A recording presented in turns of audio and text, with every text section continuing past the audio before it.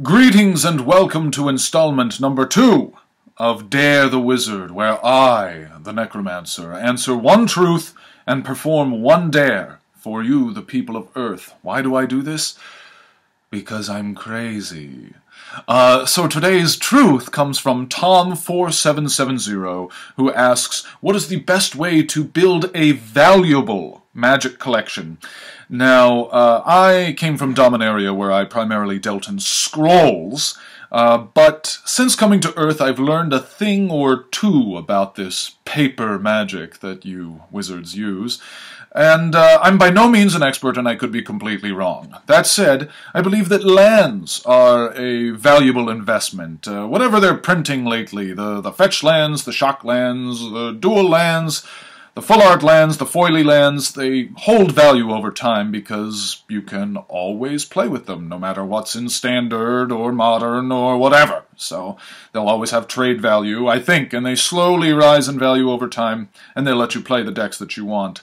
Uh, there's also factory sealed booster boxes, I think, are a good buy, because if you look at the old sets, they've risen quite a lot for factory sealed booster boxes, and so if you just buy one and don't play with the cards at all for many, many years, you can probably flip them for more money than you bought them for in the future. That's a pretty safe bet.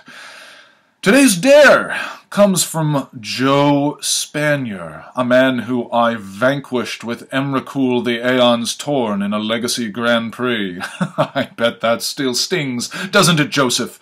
But nonetheless, Mr. Spanier has requested that I fight a Stormcrow. Now, Stormcrow is one of my best friends. I don't know why I would ever fight him. Um, perhaps you just are hyped up for this boxing match between Manny the Pac-Man and Florence Merriweather, or whatever his name is.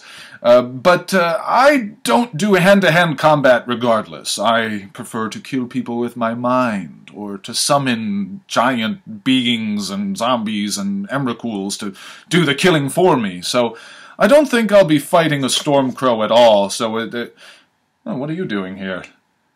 No, I wasn't going to fight you. Not at all. It. Ow! What the? How dare you? You. Ow! Ow! Ow!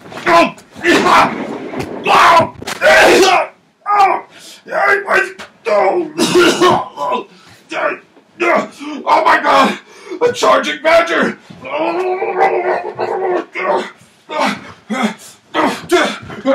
Oh no! Not Marshall Sutcliffe, ancient silverback! Oh, oh, Marshall, please! Oh,